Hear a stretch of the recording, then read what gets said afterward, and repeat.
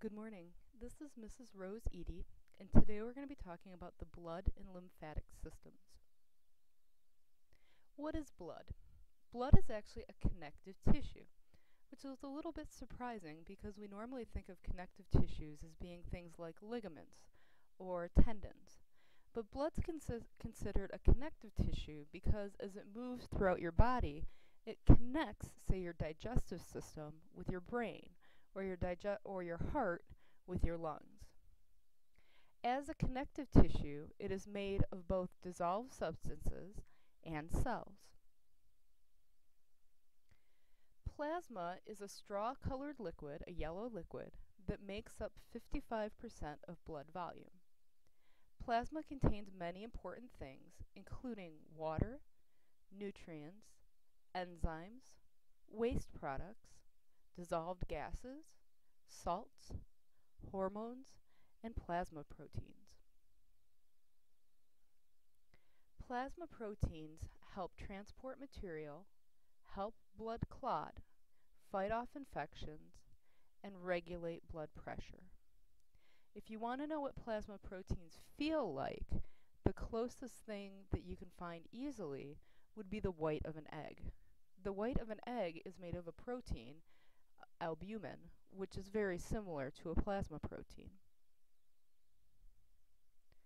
There are three groups of red blood cells, or I'm sorry, there are three groups of blood cells. Red blood cells, which are also known as erythrocytes, white blood cells, which are known as leukocytes, and platelets. Red blood cells are disc-shaped cells with a thinner center. They contain hemoglobin, a protein that carries oxygen. When hemoglobin has oxygen with it, it turns a bright red color, giving red blood cells their distinctive color. Red blood cells are produced by the red bone marrow, and after they live about 120 days, they're destroyed by your liver and by your spleen. Sickle cell anemia is a disorder of the red blood cells. Red blood cells that are affected by sickle cell anemia have a different type of hemoglobin.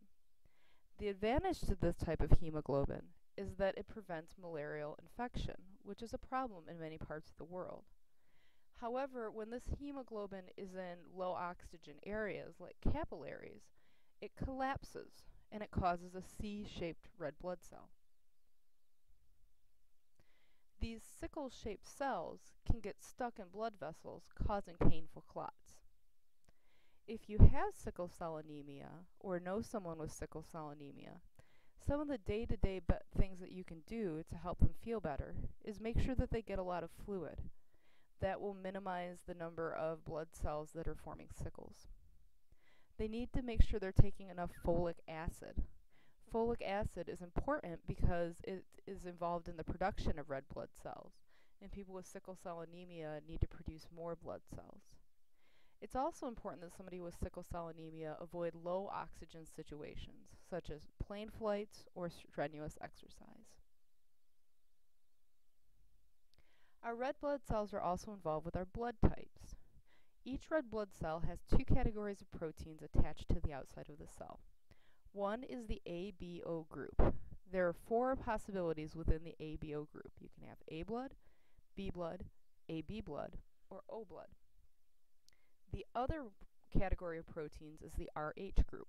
You can either be RH positive or RH negative.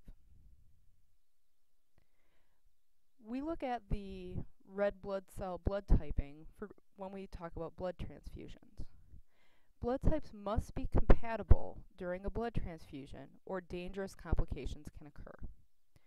So somebody who has A blood may receive A blood or O blood. Somebody with B blood may receive B blood or O blood. O blood can only receive O blood. AB blood can receive A, B, O, or AB. Someone with positive blood can receive positive or negative, somebody with negative blood can only receive negative blood. The next type of cell that we are going to talk about is our white blood cells. White blood cells guard against infection by destroying bacteria and stimulating the immune system. The number of white blood cells dramatically increases when an illness occurs. White blood cells can move out of the blood and into tissues to kill bacteria that has not yet made it into the bloodstream. We have four different types of white blood cells neutrophils, eosinophils, basophils, and monocytes. The last type of cell in the blood that we're going to talk about is platelets. Platelets are cell fragments that are made in the red bone marrow. Platelets become sticky when near damaged tissue and help form a clot by releasing clotting factors. Hemophilia is a genetic order disorder that is caused by lacking one or more of the clotting factors. The severity of the hemophilia depends on which clotting factor is missing. The current treatment is injecting clotting factor when injury occurs. Interestingly enough, um, in hemophilia, injuries that do not break the surface of the skin, like a bruise, is far more dangerous than one that actually breaks the skin because um, the the broken skin sets off a different cascade that minimizes the or that minimizes the problems caused by the missing clotting factors. Now, when you, you think about the blood system, there is a separate system that runs alongside of it, and that would be called the lymphatic system. The lymphatic system is needed because the pressure of the blood moving through vessels forces some of the fluid, some of the, the um, plasma into the surrounding tissues. The lymphatic system collects that fluid and returns it back to the circulatory system at the subclavian vein. Remember, sub means below, clavian is your clavicle. So there's a, a vein that runs right under your clavicle, and that's where the lymph returns to your circulatory system. The parts of the lymphatic system that you'll be required to know are lymph, which is any fluid in tissues, lymph vessels, which are tubes that carry that fluid back to the subclavian vein, lymph nodes, which are bean shaped enlargements that trap bacteria for the immune system to destroy, your thymus, which produces a type of white blood vessel, or I'm sorry, white blood cell, the T cell, which is found in lymph, and your spleen. Your spleen is essentially a very, very large lymph node that acts as a large bacteria and microorganism filter.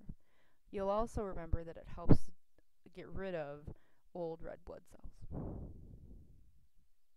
That's the end of our slideshow for today. Thank you very much for listening.